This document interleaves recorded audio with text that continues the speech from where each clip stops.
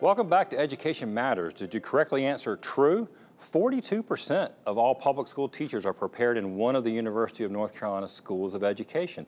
The next highest percentage is actually 24% from all other out-of-state colleges combined.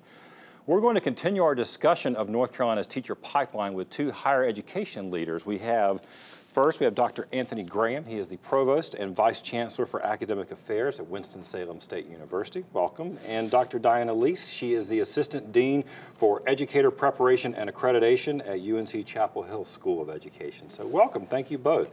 Well, you heard the, um, oh, and I should point out that Dr. Graham also sits on the PEPSC Commission. So you're, you are both um, working in, in this as well as uh, helping sort of you know, plot things forward. Well, you saw a little bit of the, um, you saw our first interview with, um, uh, with Dr. Fleming and Miller. This whole issue of sort of what our educator preparation program should look like and the standards. As someone, and I'm going to start with you, um, Dr. Graham. You were actually um, you were at A&T, I believe, before Winston Salem State, but so you're you're certainly aware. What is sort of the, the, the view from the state's educator preparation programs about this notion of um, setting state standards and, and levels and things like that. Sort of what's your, your, your take on it? Certainly. Uh, the deans of educator preparation programs will tell you we're all about standards. We want to make sure that high quality, effective educators are what we're producing. Wanting to make sure that we're paying attention to content knowledge, content pedagogy, but also being attentive to diversity and how we respond to the needs of the learner, special education, and so forth. So the way we go about structuring curricula, the way we go about uh, developing partnerships that are authentic with our K-12 public schools. All of those things are critically important when you're thinking about what's the recipe for producing that effective, high-quality educator. Well, you, you, you, touched on a couple things that I definitely wanted to ask you about, and one of those was the issue of, um, of diversity. So since you brought it up, I'll go ahead and, and, I think that we've talked about on the show before. Right now, our, our current teaching workforce, and it is largely unchanged over the last 20 years, mm -hmm. about 80% uh, white, 80% female, in teaching, at least in the public school system, a system that is uh, about 51% now students of color. Are there, I guess, what is Winston-Salem um, State doing? And then I'll ask you as well, Diane, sort of how do you go about thinking about talk, reaching out to those students um, who are either in high school now or maybe are entering college and then might want to go into a profession that would be a, a teacher of color? Sure, there are things we have to do differently. Uh, if you think about it, we began to introduce students to STEM careers in sixth grade. We began to introduce students to agriculture and business careers in sixth grade, as early as sixth grade. If you go to middle school and high school career fairs, very, very rarely do you see education as a profession that's being touted.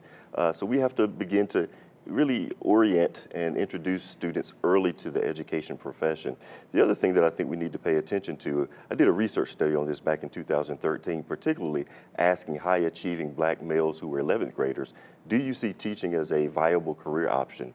And overwhelmingly, those students said no. And when we asked why, we thought we would find salary as the main driver. What we actually found was it had more to do with racial microaggressions. Mm. If you're an African American male student, for example, who's high achieving, you find yourself being one of the only in a classroom. And you look around the school and you don't see a lot of black male teachers. You look around your classroom, you don't see a lot of black males there. And you begin to worry if I do this as a career, will I once again be one of the only? Mm -hmm. And then if I add to that these notions of salary, and this oppressive environment. Is this really the environment for me? So there are things that we have to pay attention to, not only salary-wise, but socio-cultural, yeah. psychosocial as well. All the whole, well, uh, Dr. Lys, that's, I mean, certainly um, something you've, I've seen you write and talk about the issue of professionalization of the teaching profession. Um, sort of how does that fit into this? I mean, Dr. Graham just kind of mentioned it about the idea of the overall atmosphere. How does sort of the professionalization of the teaching profession fit in? Think we need to find more ways to um, give opportunities for teachers to have growth in an education career. Today, we're not preparing a teacher for a 30-year career in a classroom. We want to make sure that they have the best three years, five years, 10 years in classroom, and then give them the opportunities to grow within education into school leadership, counseling, higher ed perhaps. Um, so I think that's one way we can think about professionalizing education. Other thing, all schools are, are facing challenges with recruiting diverse candidates to their programs. So another thing that schools of education can do is to make sure that they're instilling a just a social justice mindset in their teacher preparation programs. So even if we're not able to um, adequately reflect the public school populations, that our teachers that are going out into the schools um, are understanding school and community context, that they're focusing on building relationships with those communities.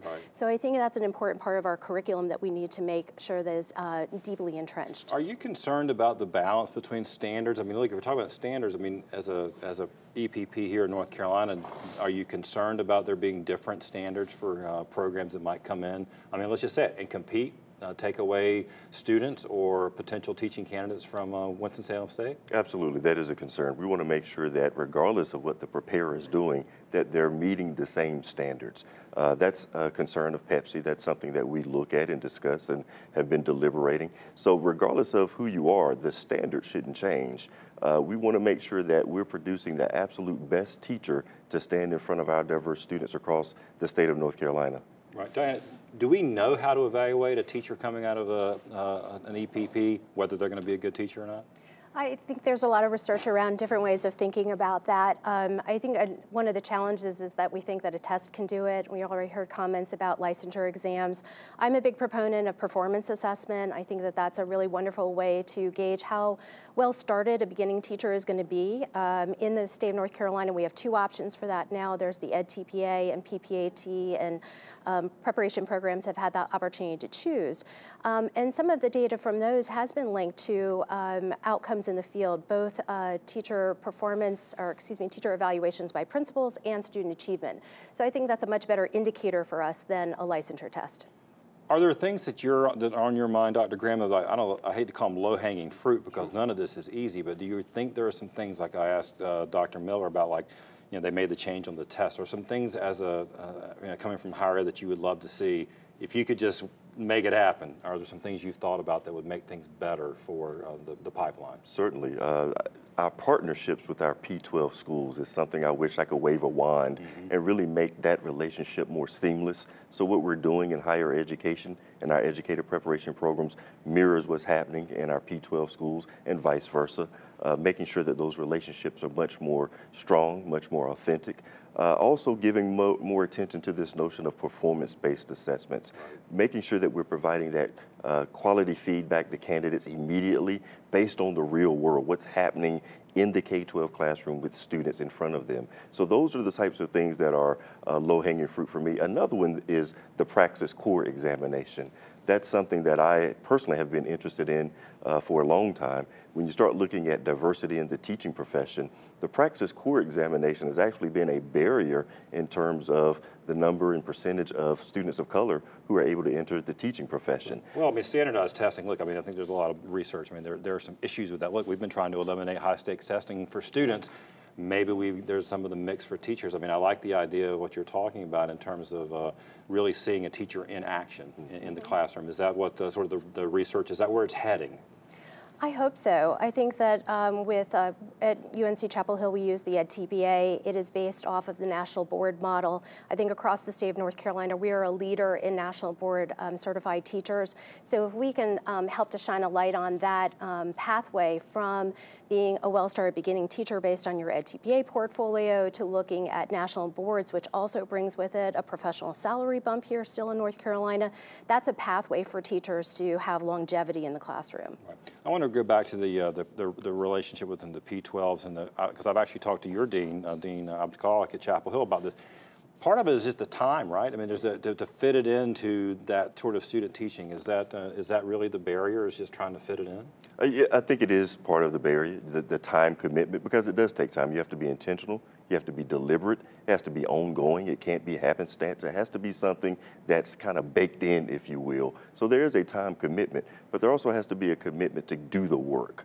Uh, you can create the time, but if you're sitting around talking and not actually executing, then you're not achieving anything. So there has to be this commitment to really want to do something differently. And that's what I see with the PEPSC Commission. That's what I'm seeing with the advisory group for the UNC system. There's a commitment from these educators, uh, Diana Lys, for example, who were saying we want to see something differently and we're willing to invest the time, dedicate the time, and execute something to make it look different. Well, I appreciate both of your dedication uh, to, to this effort. It's incredibly important in what you're doing. And thanks for coming on the show to talk about it. So we'll, we'll talk further as we move forward. After the break, this week's final word.